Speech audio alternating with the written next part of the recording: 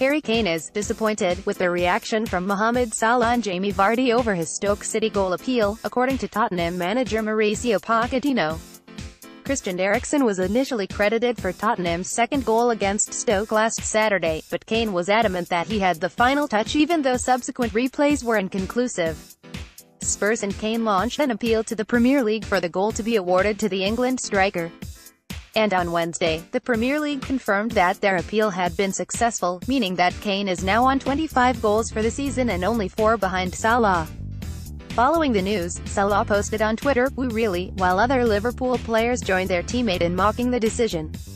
Leicester City striker Jamie Vardy, who has scored 16 goals in the Premier League this term, also appeared to deride the decision with his post on Twitter. Of course he, Kane, never thought that the situation was going to go on to such big things when he was so, so, so, so certain that he touched the ball, said Pochettino.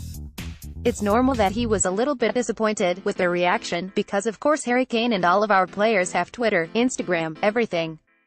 Woo really, Mohamed Salah, at 22 Masala, April 11, 2018 Tears of Joy Tears of Joy Person shrugging medium light skin tone male, sign, Jamie Vardy, at Vardy 7, April 11, 2018 Tottenham fans will back Harry Kane but other fans will kill him. He is disappointed because he never wanted to create this. For you, sometimes, it is a small or simple thing and they become bigger and bigger and bigger and bigger and you cannot stop it. That was what happened. He is going to learn a lot from this.